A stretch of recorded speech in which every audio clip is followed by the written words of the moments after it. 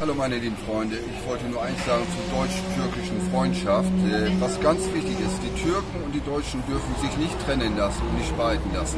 Wir sehen ja in den europäischen Medien, insbesondere Deutschland, dass immer eine Hetze gegen Deutsche über Türken gemacht wird. Man äh, lässt Hetze zu, man äh, tut das so denn, dass sich der Islam und das Christentum bekämpft und das darf nicht sein.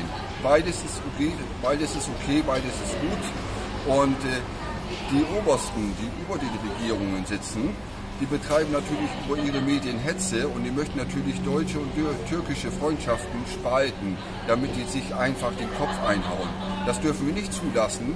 Ihr müsst alle, wir müssen alle zusammenhalten, zusammenarbeiten, uns in jeder Art und Weise unterstützen. Das ist sehr wichtig.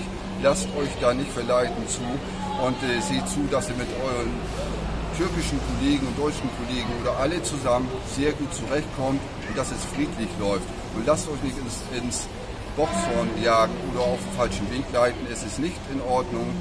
Verhindert das, denkt nach, schaltet das Gehirn ein und überlegt mal, wer tatsächlich schuld ist an diese ganze Sache. Und wir wissen, Deutsche und Türken haben über seit Kaiser Wilhelm immer schön zusammengearbeitet. Die sind immer sehr gut ausgekommen. Und jetzt auf einmal vertragen sie nicht. Wie kommt das denn? Das kommt nicht von den Deutschen oder von den Türken. Das kommt einfach von den ganzen Leuten, die ganz da oben stehen im Bankensystem. Lasst euch bitte nicht verarschen. Steht zu euch, haltet zusammen und äh, bleibt treu und äh, pflegt eure deutschen und türkischen Freundschaften und haltet einfach zusammen. Das war's. Schöne Grüße nach Deutschland.